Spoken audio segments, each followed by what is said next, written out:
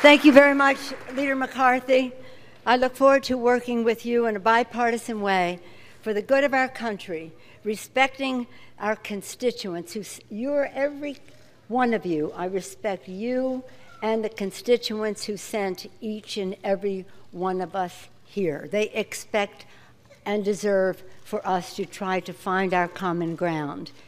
And we must try to do that. Stand our ground where we can't, but always extend the hand of friendship. Thank you, Kevin McCarthy, for your leadership. I look forward to working with you. Congratulations on being the leader of the party.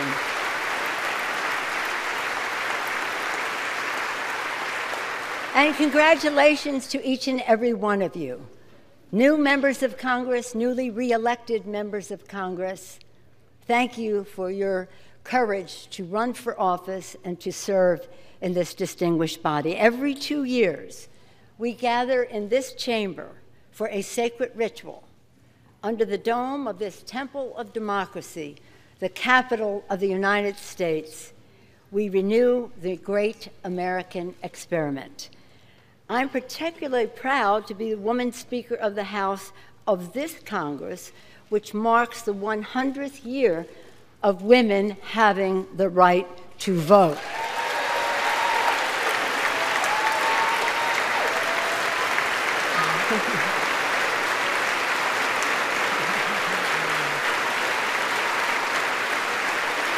and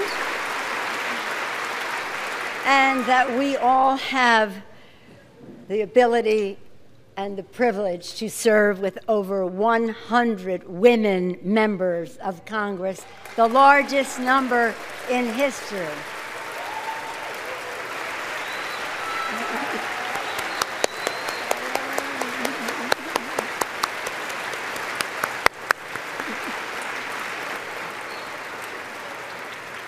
As Leader McCarthy said, each of us comes to this chamber strengthened by the trust of our constituents and the love of our families. Let us congratulate and welcome all of the families who are here today. Thank you to our families.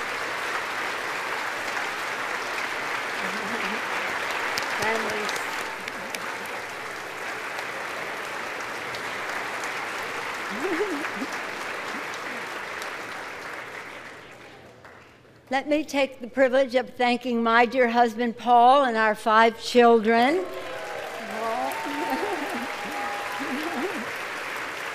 our five children Nancy, Corinne, Christine, Jacqueline, Paul, and Alexandra. And our nine grandchildren Madeline and Alexander, Liam, Sean, and Ryan, Thomas and Paul, Bella, and uh, Octavio. We're so proud of all of our grandchildren, and we're proud of everyone's grandchildren and children who are here today. We'll see more of them. I'm also proud of my D'Alessandro family who was here from Baltimore for us too. In, in the spirit, in that spirit, uh, my mother and father and my brother Tommy, who was also mayor of Baltimore, taught us through their example that public service is a noble calling, uh, that we should serve with our hearts full of love, and that America's heart is full of love. Singing that to us last night, my comrade is an Italian American. Uh, with that pride, all that pride, I want to acknowledge Tony Bennett, who is here with us today as well. Thank you, Tony.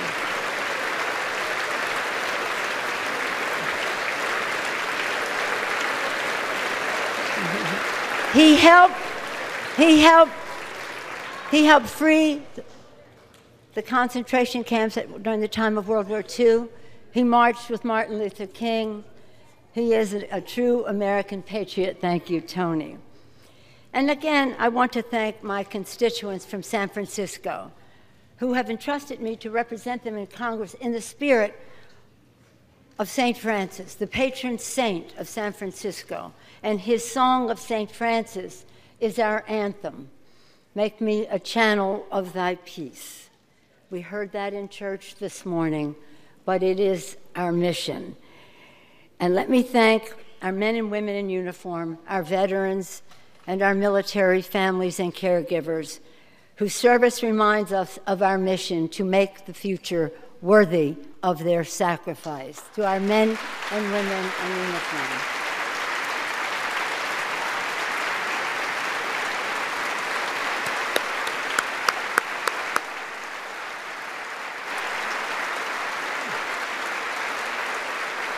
We enter this new Congress with a sense of great hope and confidence for the future and deep humility and prayerfulness in the face of challenges ahead.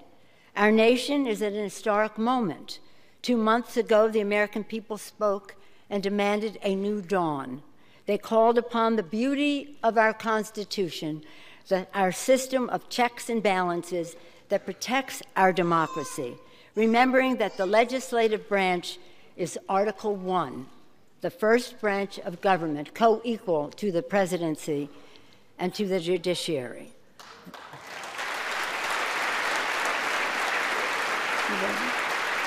They want a Congress that delivers results for the people, opening up opportunity and lifting up their lives.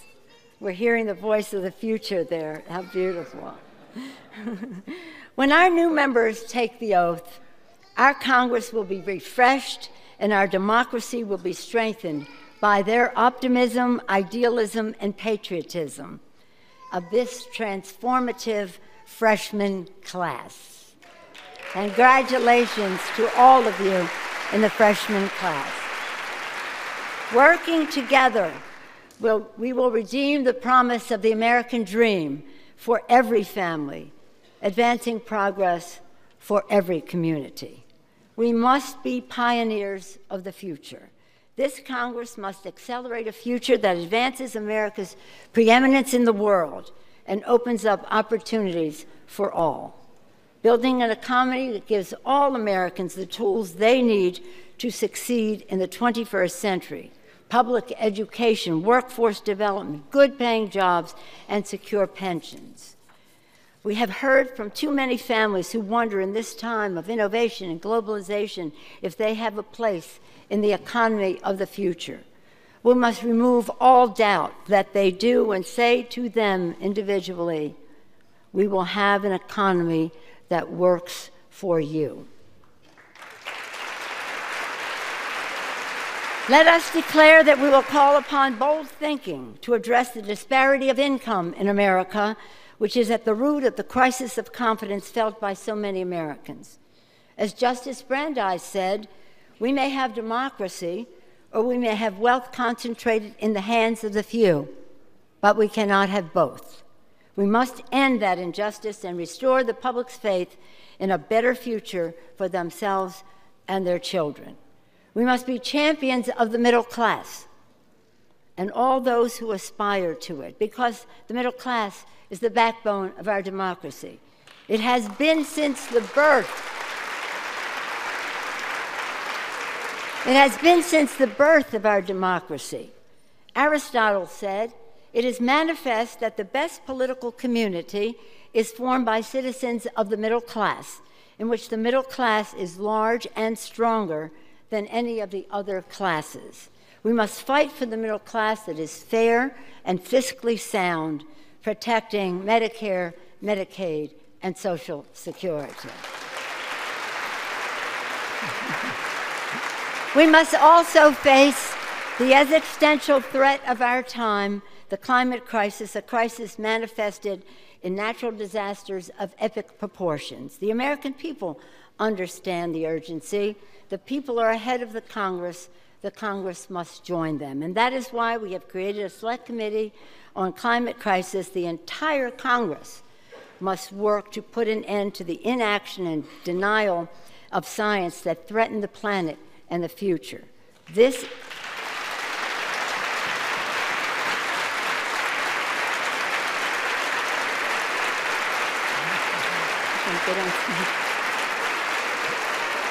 This is a this is a, de- a decision. It's a, deci- a public health decision about clean air, clean water for our children's health. It's a decision for America's global preeminence in the green technologies. It is a, a decision, a security decision, to keep us all safe. and a moral decision to be good stewards of God's creation. We have no illusions that our work will be easy and that all of us in this chamber will always agree. But let each of us pledge that when we disagree, we respect each other and we respect the truth. We,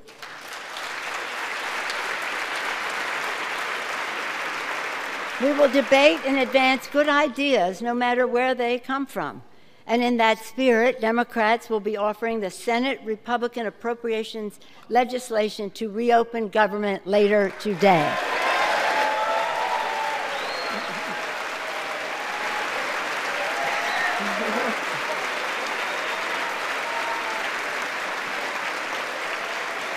We will do so.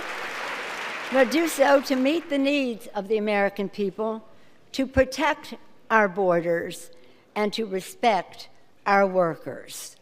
And I pledge that this Congress will be transparent, bipartisan, and unifying, that we will seek to reach across the aisle in this chamber and across divisions across our nation. In the past two years, the American people have spoken. Tens of thousands of public events were held. Hundreds of thousands of people turned out. Millions of calls were made. Countless families, even sick little children, our little lobbyists, our little lobbyists bravely came forward to tell their stories, and they made a big difference. Now, the floor of this House must be, America's town hall, where people will see our debates and where their voices will be heard and affect our decisions. Transparency will be the order of the day.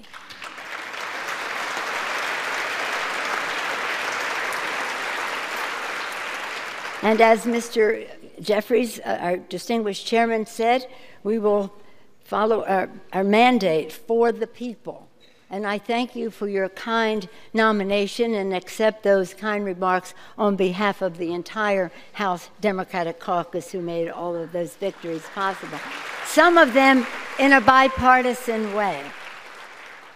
Empower our mandate for the people, to lower health care costs and prescription drug prices, and protect people with pre existing medical conditions.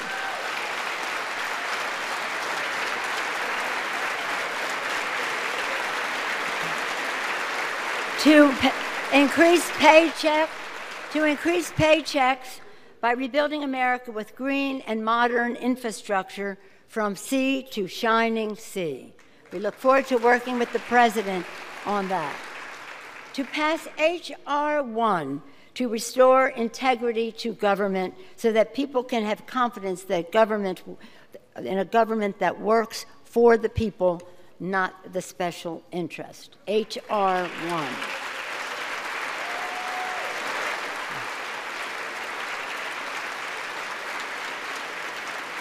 This House will take overdue legislation that has bipartisan support bipartisan support in the Congress and across the country.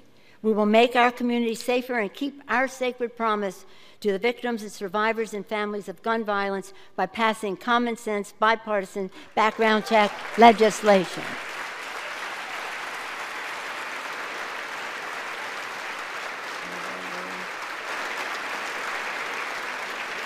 We will make America fairer by passing the Equality Act to end discrimination against the LGBTQ community.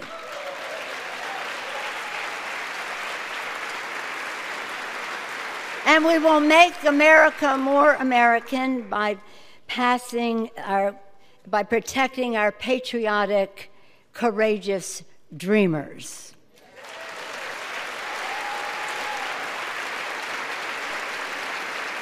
All three, all three of that, all those legislative initiatives have bipartisan support in this body. And when we're talking about the Dreamers, let us remember what President Reagan said in his last speech as President of the United States.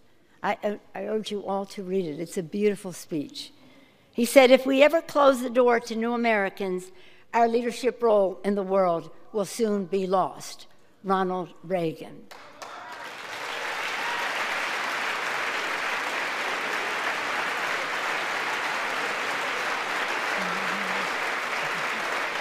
Our common cause, you know, applaud for Ronald Reagan. our common cause is to find and forge a way forward for our country. Let us stand for the people to promote liberty and justice for all as we pledge every day. And always, always keep our nation safe from threats old and new, from terrorism and cyber warfare overseas and here at home to protect and defend. That is the oath we all take to serve in this body. That is the oath we take to protect and defend. I close by remembering a cherished former member of this body who rose to become a beloved president of the United States and who last month returned to the Capitol once more, and he came this time to lie in state. That week, we honored President George Herbert Walker Bush with eulogies, tributes, and tears. Today, I single out one of his great achievements, working with both Democrats and Republicans to write the Americans with Disabilities Act into the laws of our land. Thank you, Steny Hoyer, for being such a big and part, important part of that.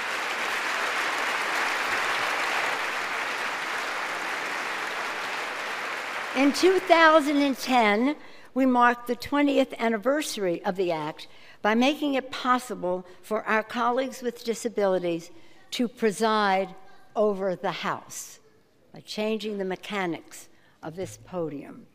In that spirit of equality and justice, let me announce that this afternoon, the first Speaker pro tempore whom I will yield to of the 116th Congress will be Congressman Jim Langevin of Rhode Island.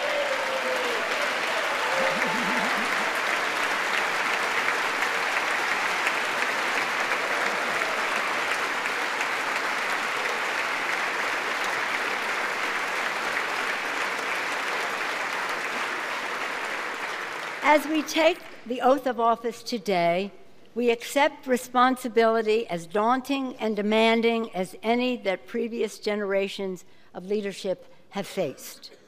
Guided by the vision and values of our founders, the sacrifice of our men and women in uniform, and the aspirations that we have for our children, let us meet that responsibility with wisdom, with courage, and with grace. Together, we will let it be known that this house will truly be the people's house. And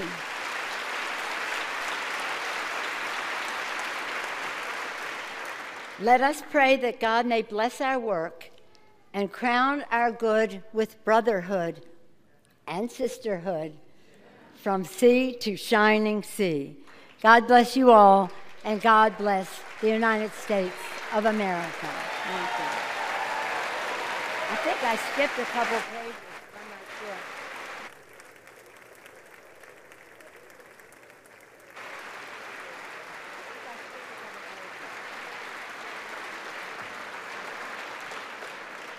The parliamentarian instructs me to say the following I am now ready to take the oath of office.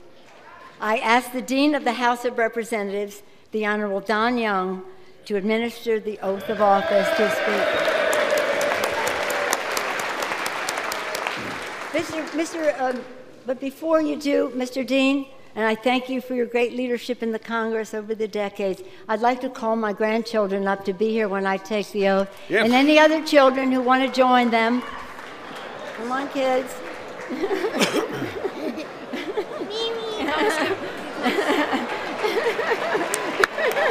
All children.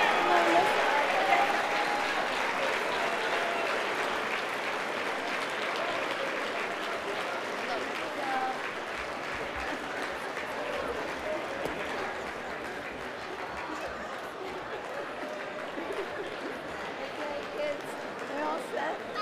More kids come on this side. Yeah, more kids. Then what happens? And I just do the. Okay.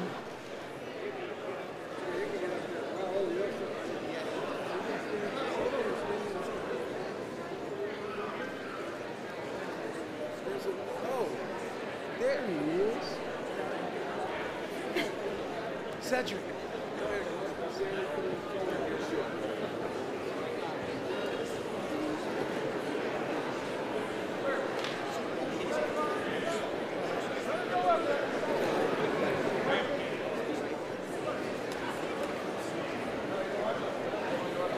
Stand up tall.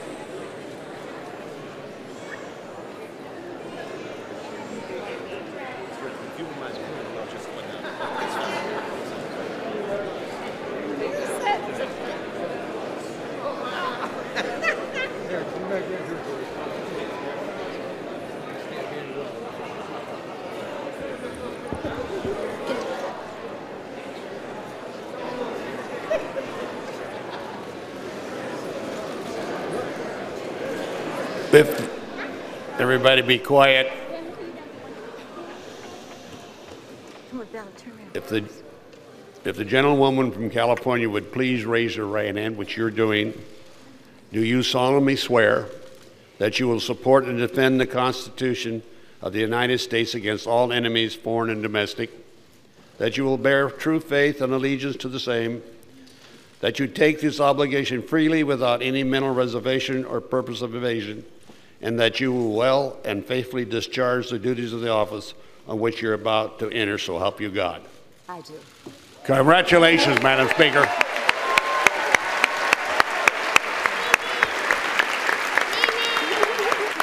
Okay, do what we've all been waiting for. Okay. Let us um, let us thank Dean Young. Thank you, Dean Young, Dean of the House of Representatives. Thank you. Now call the House to order. I now call the House to order on behalf of all of America's children. Go kids! Go kids!